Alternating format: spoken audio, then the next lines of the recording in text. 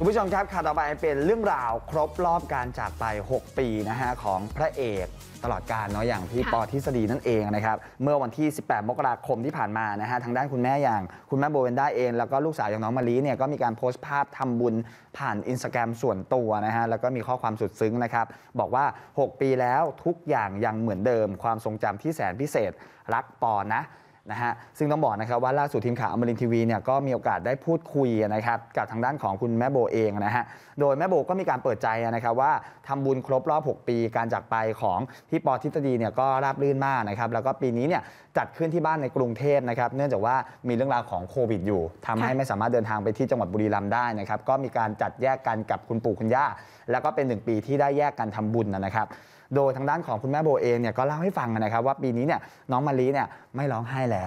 ส่วนตัวเนี่ยก็เชื่อนะครับว่าน้องเนี่ยโตขึ้นแล้วก็รู้ทุกเรื่องแล้วนะครับแล้วก็เข้าใจในเรื่องของความจริงหมดแล้วนะฮะอย่างปีก่อนเนี่ยก็จะมีน้ำตาตอนที่สวดมนต์ให้กับคุณพ่อนะฮะสำหรับปีนี้เนี่ยแม่โบเองก็สังเกตนะครับว่าน้องมะลิเนี่ยขณะที่สวดมนต์เนี่ยก็จะเห็นนะครับว่าน้องเนี่ยมีรอยยิ้มแล้วก็ตั้งใจในการสวดมนต์นะครับ นอกจากนี้ครับมีอีกหนึ่งเรื่องนะฮะก็คือน้องมะลิเนี่ยเตรียมที่จะเป็นนักแสดงเต็มตัวแล้วนะคุณค่ะก็คือแม่โบก็เล่าให้ฟังนะครับว่าน้องเนี่ยตื่นเต้นมาก แม่โบว์นี่ก็โอ้โห support เต็มที่นะมีการค่ะส่งไปเรียนการแสดงช่วยต่อบทด้วยอะเป็นอย่างไรเดี๋ยวไปฟังกันครับก็ราบรื่นไปได้ด้วยดีค่ะ ก็เหมือนกับปีที่แล้ว ก็ปีนี้ก็เป็นอีกหนึ่งปีที่ต้องจัดที่เอ่อบ้านที่กรุงเทพเพราะว่าที่บุรีรัมย์ปู่คุณย่าก็จัดแบบพิธีเล็ก ๆ ที่ที่วัดนะนะคะ เพราะว่าเอ่อคุยกับคุณย่าแล้วก็ห่วงในเรื่องของโควิด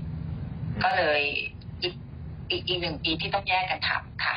ใช่ ปีนี้เก่งแล้ว ก็ตอนแรกก็ยังคิดว่าเอ๊ะปีนี้เป็นอีกหนึ่งปีที่เขาแบบโตแล้วรู้เรื่องแล้ว แล้วก็พูดอะไรที่ที่เข้าใจได้ในเรื่องของความเป็นจริงหมดแล้วอะไรอย่างเงี้ยก็ปีนี้เวลาทำเราก็จะสังเกตอะค่ะ เพราะว่าปีที่แล้วเหมือนเขาก็ยังมีน้ำตาในตอนที่เขาแบบสวดมนต์ให้คุณพ่ออยู่ แต่พอปีนี้เราก็พยายามสังเกตเขา คือเขาก็จะมีรอยยิ้มตลอดทั้งทั้งงานที่เราได้จัดงานให้คุณพ่อเขา ตอนสวดมนต์ก็ก็มีความตั้งใจ มีความตั้งใจในการสวดแล้วก็ไม่มีน้ำตา มีแต่รอยยิ้มอืมค่ะก็แสดงอ่าเป็นเด็กผู้หญิงจริง ๆ แล้วเขาก็เป็นสไตล์ที่ดูง่ายเลี้ยงง่าย แล้วก็โชคดีอย่างเขาไม่งองแง แล้วก็ไม่ดื้อนะคะ แต่ก็จะเป็นห่วงในเรื่องของการใช้ชีวิตตอนนี้มากกว่า เพราะว่าส่วนใหญ่เราก็เลี่ยงไม่ได้ค่ะ กับการใช้ชีวิต ของเขาในเรื่องของโลกโซเชียลด้วยบางทีก็อาจจะดู YouTube บ้างหรืออะไรบ้าง อันนี้เราก็แบบคอยดูเป็นพิเศษ เพราะว่าการลอกเรียนพฤติกรรม หรือว่าเรียนแบบพฤติกรรมต่าง ๆ เนี่ยมันมันจะอยู่ในวัยนี้ได้เยอะมากอืมเราก็พยายามพยายามดูเขา